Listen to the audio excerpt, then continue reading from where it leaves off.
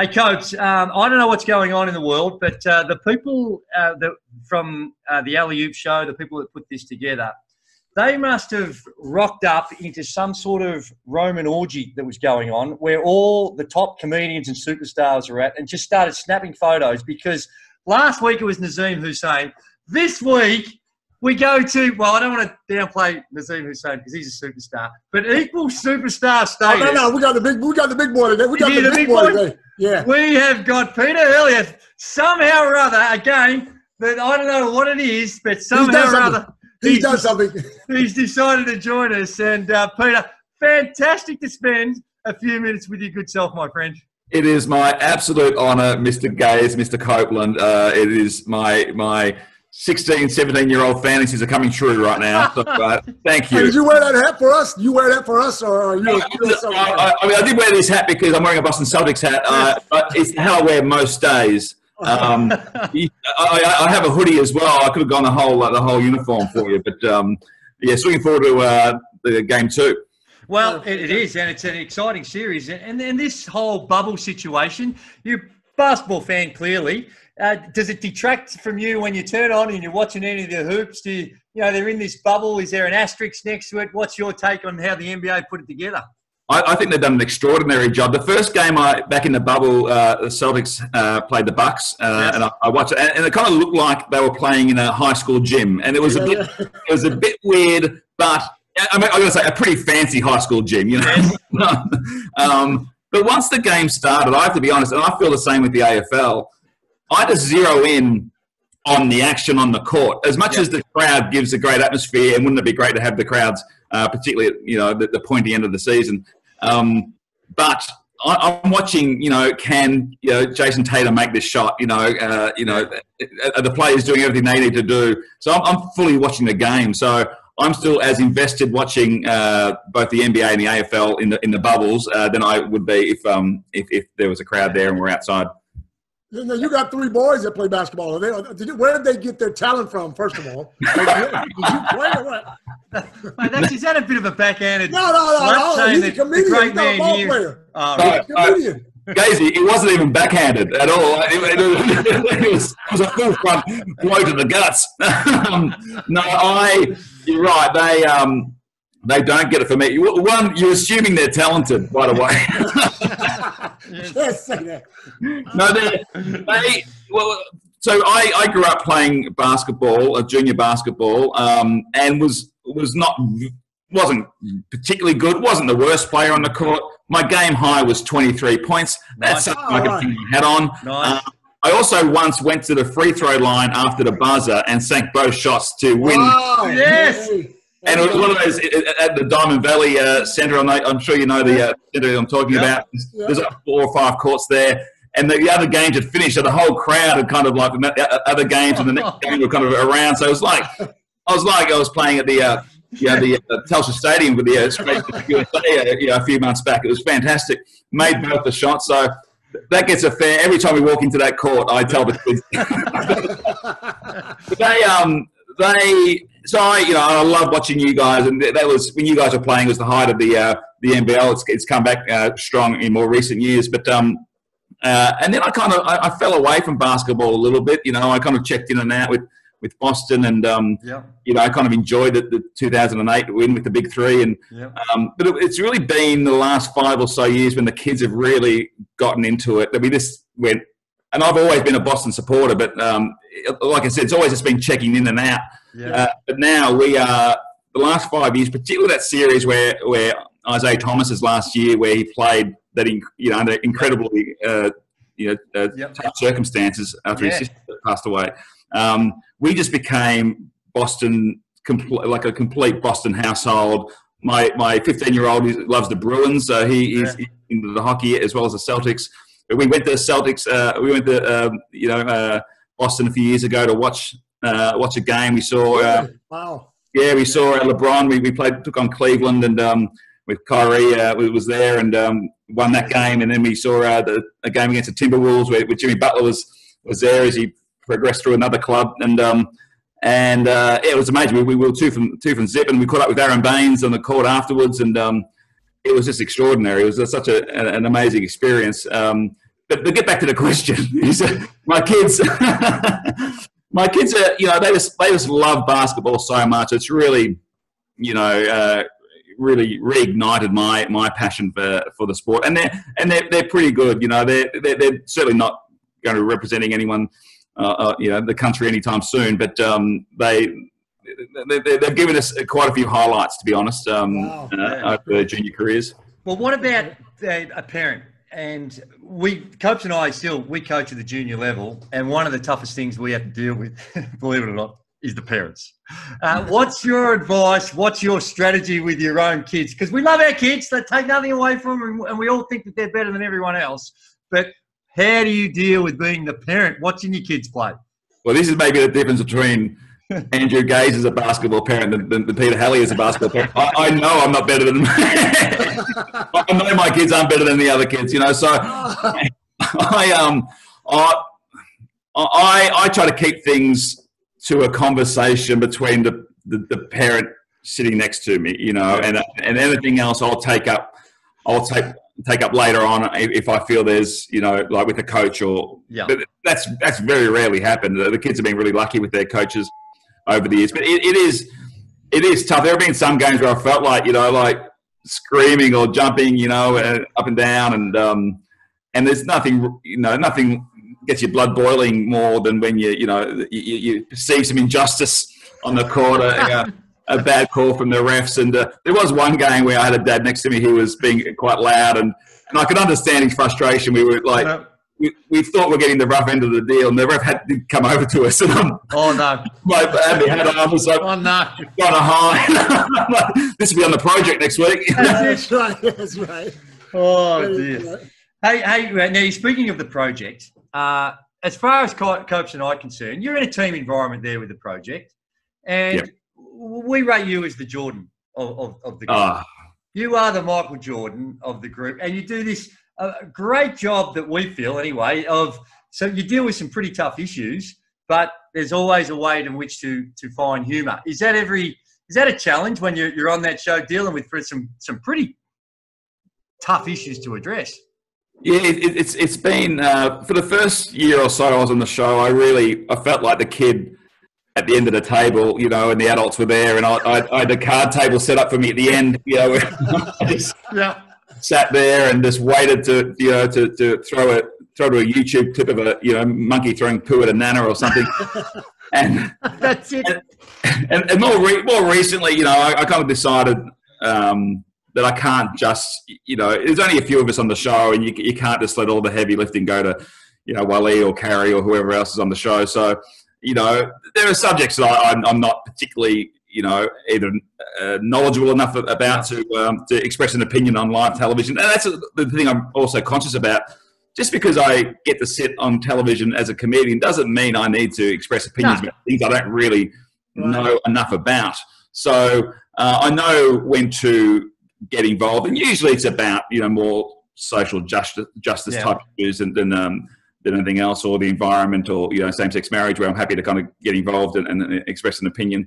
But um, but it is it is, and this year's been a tricky one, you know, because we've been in our own little bubble in a way with yeah studio audience has been taken away. So that I used to, you know, rely a lot on on them because I'm showing clips and I'm making jokes and um, um, it's uh, it, has been tough, but we've kind of learnt just to lean into each other a bit more, and um, and uh, and they've done it. You know, carrying my lead, and the others on the show have done a great job in supporting me because my job's probably become harder this year as a result of everything sure. that's, that's happened, and they've been great in uh, their support. My question is, because you're a comedian, do you ever practice your jokes with your kids or your family sitting there and, and what if they, they go, Dad, it's not funny? That's, do you use that or, or how, how, does that work? That's, that's true.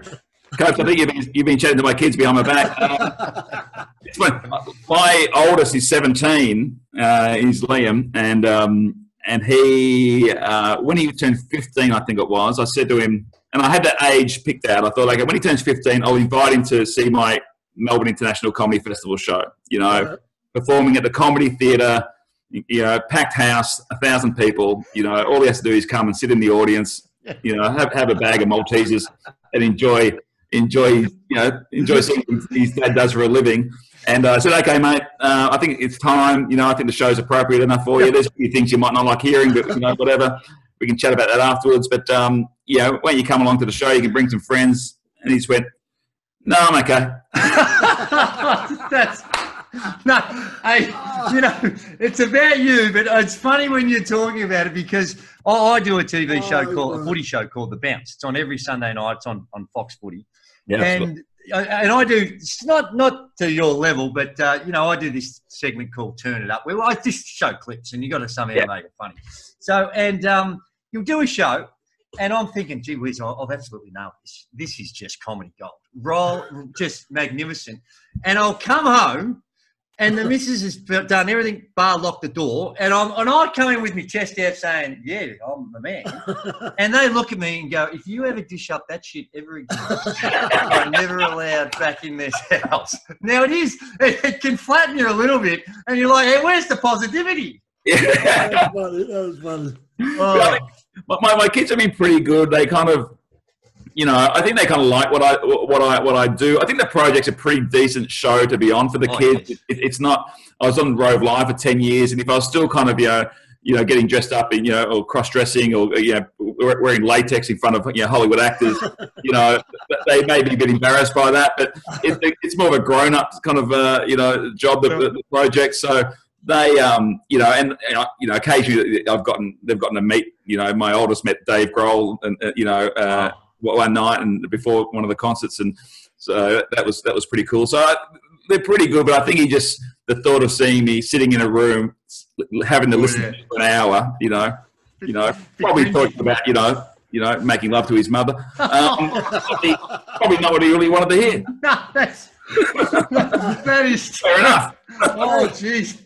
How are you? How are you handling this lockdown? Because it's driving me crazy. How are you handling? I, I, I'm pretty lucky, Copes. I get to go to work for you know four days a week, so I, I do get to go out. So I'm not as maybe heavily as locked down as you know as some others, and, and you know I, I'm very fortunate. Um, we, we've tried to make it as fun as we can. You know, my wife and I have been doing um, these pub crawls around the house um, where we just set rooms and different pubs and. We actually released a travel book a few weeks ago. That's how ambitious I am. I've released a travel book during a global Yeah, pandemic. we were going to ask you about that. Yeah. tripping, tripping with kids, isn't it? Is that what it's called? Yeah. yeah, with kids. So we worked very hard on it last year, not knowing there was a coronavirus on the way. And um, um, but luckily, there's a there's a lot to explore in our in our own country, and um, and hopefully there'll be a bit of a bubble that opens up in New Zealand. And, Yeah.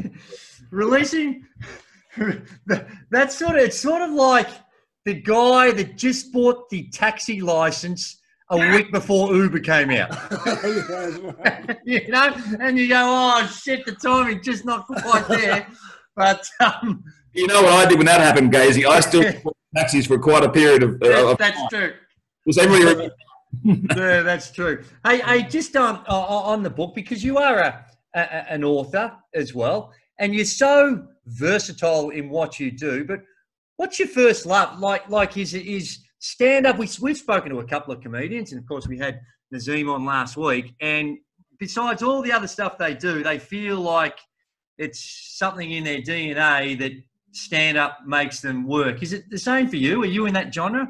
Yeah, I, I think once once you've done stand up for long enough, and uh, you, you just it's it's what I identify as. You know, if, if somebody asks what I do, uh, you know, I'm, I'm a stand up uh, comic, and um, it's it's also the true.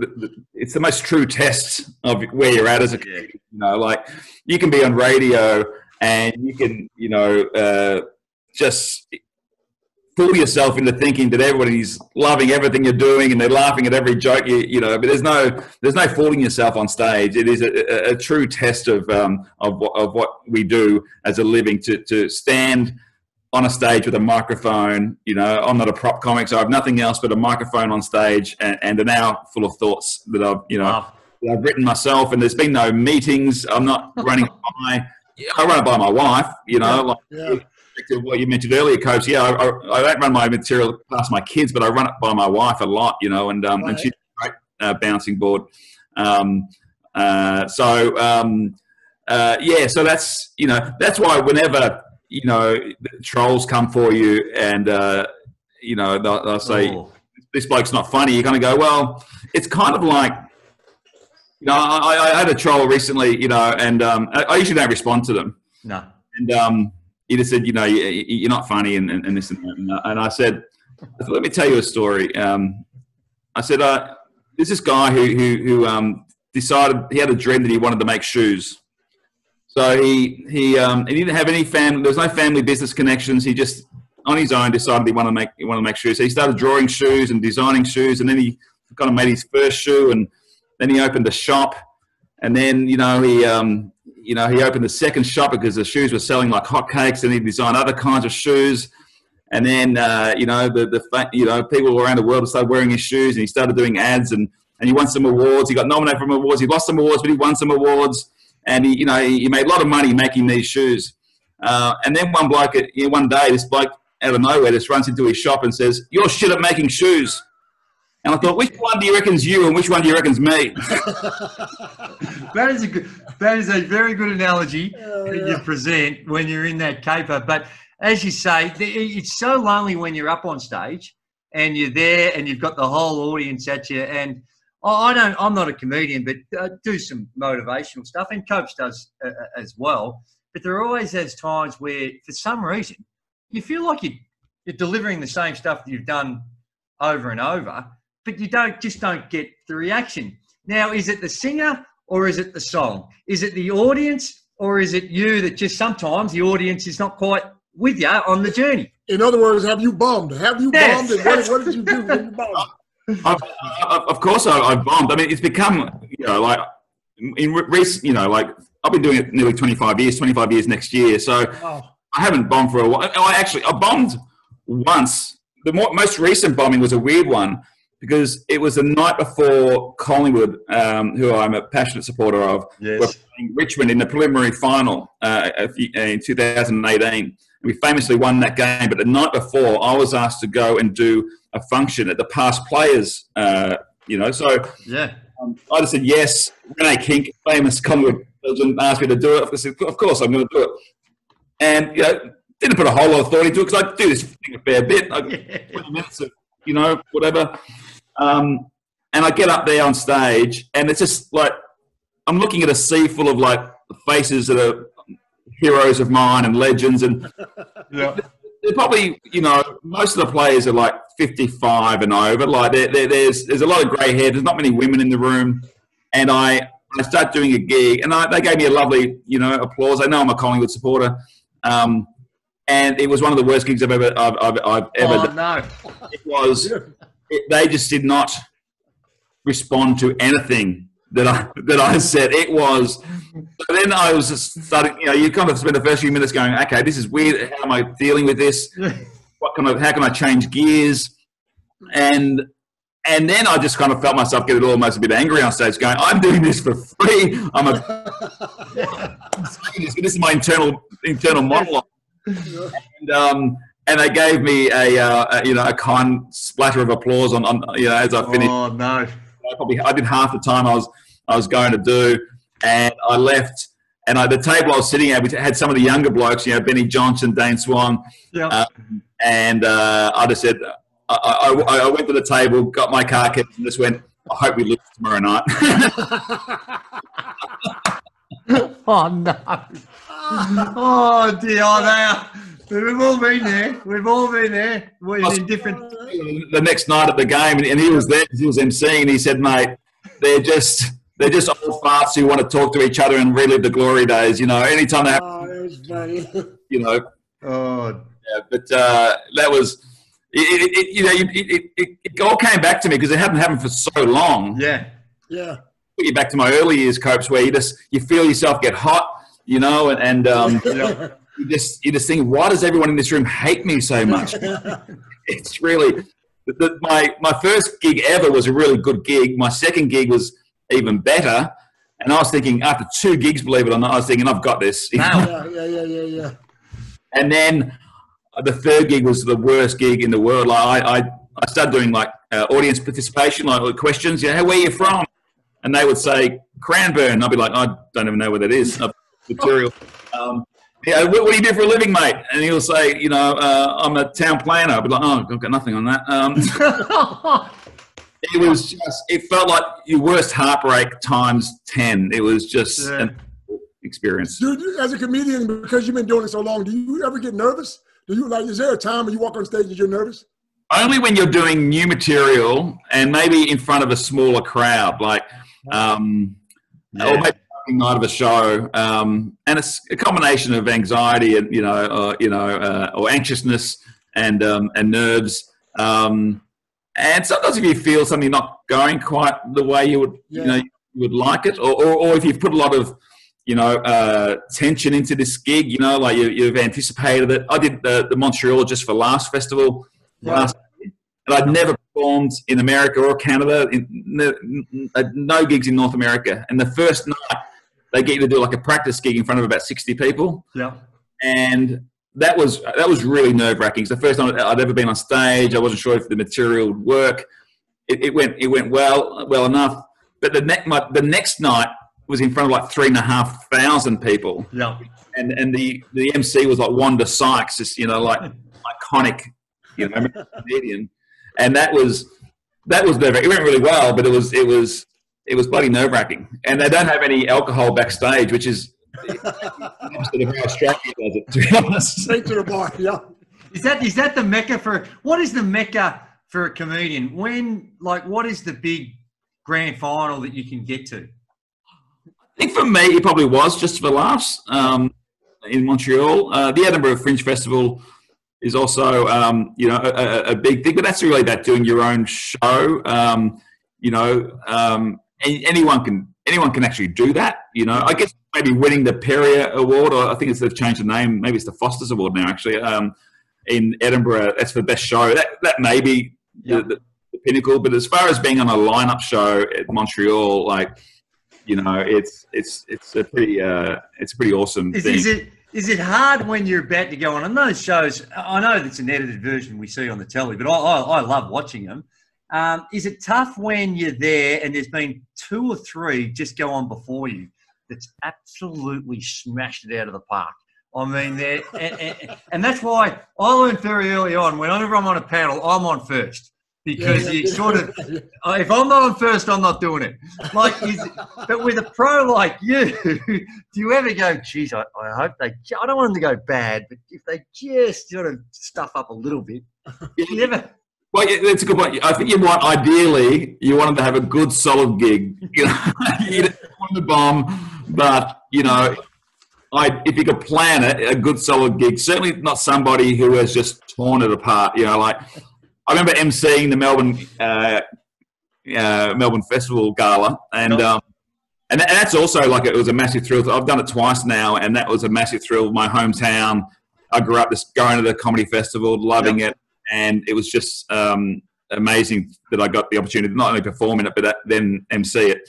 And I've done it twice. And and there was a great comedian uh, out of the US called Bridget Everett, who's um, been in movies like Trainwreck with Amy Schumer, and yeah, she's very uh, you know in your face, and she's got this amazing voice, and she sings, and she kind of goes in the audience, and she almost she, she's a solidly built woman, and she kind of puts her boobs in people's faces, and and uh, she's like, it's a pretty provocative kind of song, and it just went off in the in, in the um in the uh, in the theater, and she went like walked down and, and, and basically got from the stage, went down, boobs in people's faces, walked to the back of the theater, and ended that, and then the audience was standing ovation.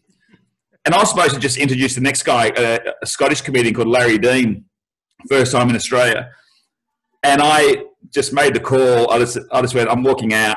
I walked out, and all I had to do was just, you know, like an MC with less experience, they would have just rode that kind of wave and gone, keep it going for Larry Dean.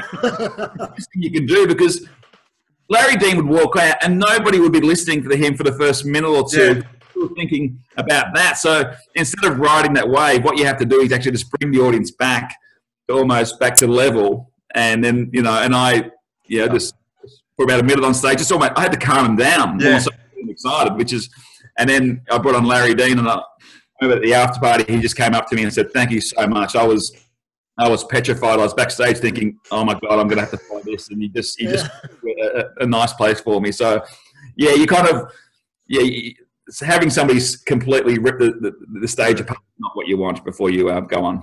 Yeah. Wow. Hey, you do the um, the How to Stay Married, the the, the show. I, I, as we're doing a little bit of research, we don't do a whole lot, but a little bit of research. that uh, it's not only you a, a, superstar in it, but you you you do a lot of behind the scenes stuff too. Apparently, you've you've directed a few episodes and, and and done that type of thing. Is that sort of the next incarnation of you? Is that your is that where you're heading? Is that stuff that sort of no, he wants a Netflix special. That's what you, that's where the money is, pal. No, yeah. I'm, I'm, I'm, yeah, that's true. No, I thought you were saying, coach. I'm, I'm lobbying for a position. I, I, I, can be directed very well. I think I've got great acting skills. But and no, or a co-host on the Alley podcast. That's that's you know, either or, either or. Um, but no, I um, I think so. I mean, I, I really love um, I've loved directing. It, it, it's tricky because um, I'm writing um, one of the leads in, in How to Stay Married and uh, producing it. Um, so I think when, if we do a third series, which we're, we're planning to, um, I may just direct the one episode just to kind of you know take the pressure off myself a little bit. Um, but I love doing it, and I'd love to do more of it. It's hard because I'm I can't take any more time off in the project to direct other stuff. Um, but down, you know, once once Channel Ten decided my head has no place being on TV anymore, um, uh, which I'm surprised that I can still get away with it. But um, um, they, um, I, I, yeah, I would love to direct more and produce more and just kind of get new faces and, and, and voices on, on television. Yeah. Hey. Now we know you got to go. A couple of couple of more questions. Who wins? Who wins the AFL Grand Final? Uh, Collingwood, Copes. Uh, of course, he's going to say Collingwood. Of course. Uh, I think I think Geelong might be, and I, I, I constantly write Geelong off, but um, they it all depends where the, where the game's played. If it gets played in Perth, then I think you know you can lock the, the Eagles in. Um, but as I'm not sure when this is going out, but we the, the, Pies play the Lions this Friday night, and if the Pies can get over the Lions, I think this momentum might build for Collingwood, and we've got some good players coming back in Jordan De Goey, still yeah. side by Howard and Treloar. So um, if we can get over this week, um, the cavalry just might arrive just in time. Well, the other th- good thing that you do, you're, you're very well connected with Collingwood and all, all the superstars that are going around. But the other thing is, is that there's a superstar Strauchanie. He's um he's he, you're very close friends, I believe. Have I got that right? I thought they were brothers. Aren't they brothers? Uh, very close friends at the very yeah, least. They look alike. I know that. Uh, is he is he sort of still lurking around, just uh, looking for an opportunity? Yeah, he, he came out of uh, retirement um, for uh, lockdown one, and he, he answering various questions. I think he was pretty keen actually to, to maybe head to the States for some NBA action, to be honest. Um, that's, I know Melbourne United was sniffing around, you know, um, but I, um, I, he's around, and I, I, think he's, he's, he's almost given up. Uh, I, I, think he, he, you know, Malthouse and now Nathan Buckley, you know, refused to play him. Oh dear. Almost 12 years now, so I think he's taken the hint.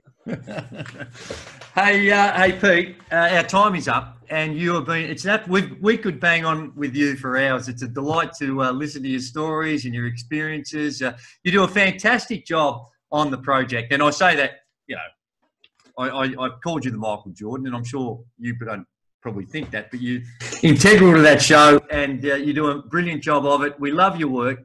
And uh, thanks very much for your time, for giving us a little bit of your time, sharing your thoughts, and um, all the very best with all the many, many projects in that book. Hopefully, you get get that book going and. Yeah, thank you, thank you very much. And I just before I go, I, I want your both of your honest opinion. Can Boston win it? Yes, they. Oh, uh, no. Oh, come on. That's, that's not the answer I wanted. I no, don't no, think no, that's the answer. That's probably not the answer you wanted. But okay, look, Clippers will win it. Boston, you know, maybe. Well, I think this is the thing. You got to pray that Gordon Hayward gets back and gets healthy. Because I think if he is there, then I think you do have a, a shot at it. But the one that's sneaky that I, I am going to look like a genius if they get over the line is the Miami Heat. Yeah, I, I, the Miami Heat, they don't have the sort of the big names, but gee, they're playing well. They beat Milwaukee. They play, they play well together, yeah, they do. Uh, today, well so that's the one. But no, the Celtics, you, are lucky for the next three or four years. They're going to be thereabouts. They're going to be thereabouts. They got some big superstars on that team, so yeah. yeah I'm not sure they can win it, but um, but no, you, you've got a lot to look for. Hey, you won enough, pal. You have enough rings. That's true. The Boston Celtics have enough. Spread it around, pal. It's been 12 years, though. It's been 12 Hey, that's a good point, Copes Very Well, good point. He's jumped yeah. on the Celtics, who have got more rings than they know what to do. with. anybody, and he And then wants he's on more. Collingwood. Come Mate, on. you just jump on the on the big ticket items. Well, it's been 12 years for the Celtics and 10 years for the Pies, so I'm due for another one. No, and then you could get the double. Who knows? Hey, uh, thanks very much, Peter. Really appreciate it. Mate. we appreciate it, man. Thanks. To, Thanks, Legends. It's, it's, it's a real thrill to chat to you guys, and um, yeah, uh, more strength to you. Good man. brother. Thanks, Yeah. Pete. This has been a No Filter Media production. Say what you want.